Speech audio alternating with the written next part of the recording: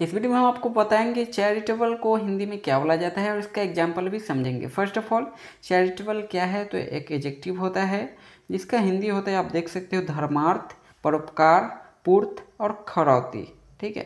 Example से समझिएगा यहाँ पे थोड़ा सा ही has donated his wealth of charitable purpose ठीक है? यानी कि आप देख सकते हो यहाँ पे, उसने अपनी संपत्ति धर्मार्थ कार्यों के लिए दान दे दी है। तो आई होप आपको ये चैरिटेबल का हिंदी क्लियर हो गया होगा। चैनल पर नए हो, चैनल को सब्सक्राइब करो और साथ ही साथ बेल आइकन को प्रेस कर लेना। Thank you for watching this video